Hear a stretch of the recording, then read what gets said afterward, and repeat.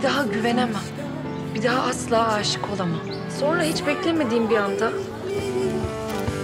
Yavaş ya. Dikkat etsene. Yalan söylüyorsun. Evet. Aa yeter ama be. Sen Mete'ye aşıksın değil mi? ne? Ve onun bundan haberi Ben sana ilk gördüğüm günden beri aşığım. Lütfen aşkımı kabul et. ။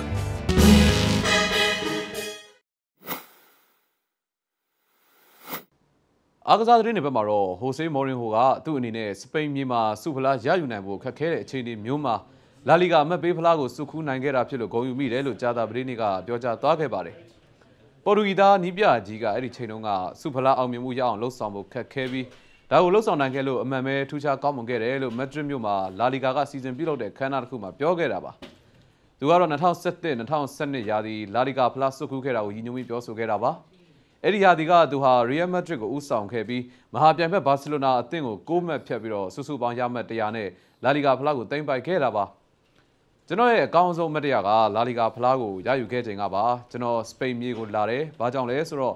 Real Madrid ကိုကင်တွယ်လေ့ကျင့်ပေးလို့ပြီးအင်္ဂလန်အီတလီနဲ့စပိန်မတူညီတဲ့ထိပ်တန်းလိဂ်၃ခုမှာအမတ်ပေးဖလားကိုပထမဆုံးဖြစ်ရယူဖို့ကြိုးစားလိုတာကြောင့်လည်းဖြစ်တယ်အဲ့ဒီစိတ်ကူးတွေနဲ့အတူရောက်ရှိလာခဲ့တာပါလို့လည်းမော်ရင်ဟိုကပြောပြပါတယ် အသက်56နှစ်အရွယ်ရှိပြီဖြစ်တဲ့မိုရင်ဟိုဟာသူ့ရဲ့မျိုးဆက်မှာအအောင်မြင်ဆုံးနီးပြတွေတဲကတူဖြစ်ပြီးတော့သူဟာ Real Madrid အသင်းမှာ၃နှစ်ကြာကင်တွယ်ခဲ့ပြီးတဲ့နောက်အသင်းကိုလာလီဂါဖလားတစ်ကြိမ်နဲ့စပိန်ဘီရင်ဖလားတစ်ကြိမ်ရအောင်ယူပေးခဲ့ပါတယ်ခင်ဗျာ